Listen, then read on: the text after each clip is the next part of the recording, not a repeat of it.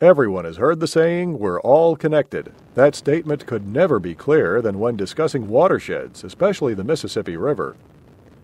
Farms along the river and its many tributaries run the risk of sending fertilizers and sediment downstream, eventually to the Gulf of Mexico.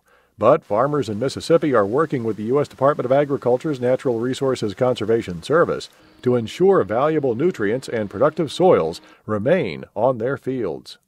Our major practices that we recommend are our land leveling, our, our dikes, our water control structures, our irrigation storage reservoirs, and our on-farm storage reservoirs.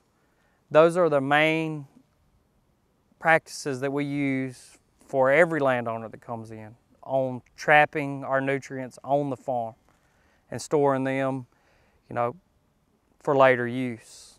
These different practices or conservation efforts fuse together to form a tailwater recovery system. A tailwater recovery system ensures that water never leaves the farm.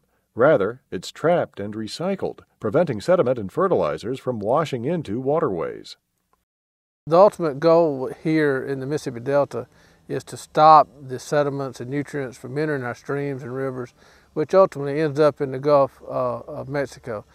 So by doing the conservation practices in the Mississippi River Basin area here, we can stop those we can stop those nutrients from entering our streams and we'll have a direct impact on the on the Gulf Coast. Through NRCS's Mississippi River Basin's Healthy Watersheds Initiative, or MRBI, NRCS is providing technical and financial assistance to landowners who want to improve their fields. These improvements are a win-win because they boost the farmer's production and help the environment. The one for one that we've seen in our experience with NRCS has been that as we've focused on farming efficiency, the, the environmental footprint of our farm has shrunk.